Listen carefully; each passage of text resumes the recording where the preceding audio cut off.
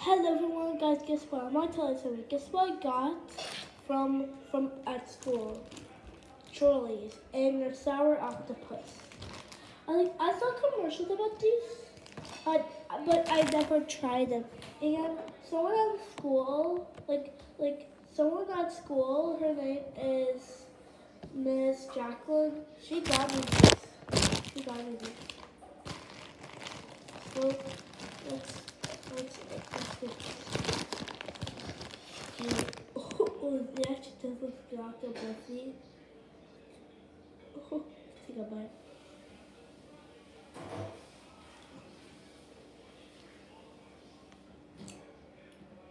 Just a shower? I can handle it. Yeah, I think it tastes some sourness. That's really good. You should buy this. I think I'd give this a 10 out of 10 for me. She's so good.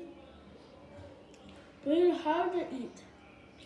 That's all guys. Make sure to smash like button, subscribe button. I'll see you later.